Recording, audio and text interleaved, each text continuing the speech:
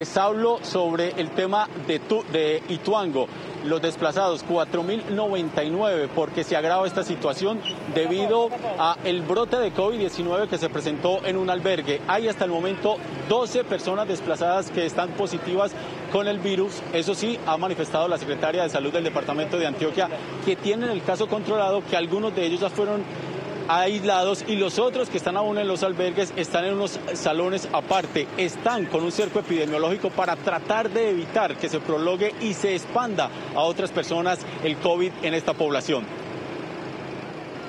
El brote se conoció con el resultado de pruebas aleatorias hechas a la población desplazada.